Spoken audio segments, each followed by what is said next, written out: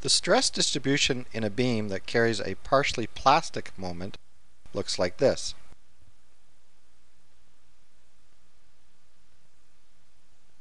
The arrows show stress values at various locations on the cross-sectional area.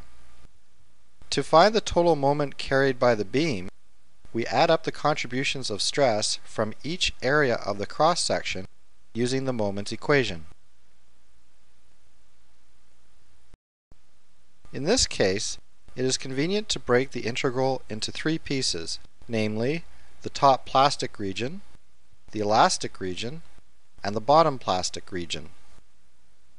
In the elastic region, where stress equals E times strain, or minus E times y over rho, the moment contributed by this area equals the integral of y times E times y over rho times dA. In the plastic regions of the section, where stress equals plus or minus the yield stress, the moment contributed by these areas equals the integral of y times the positive or negative yield stress times dA.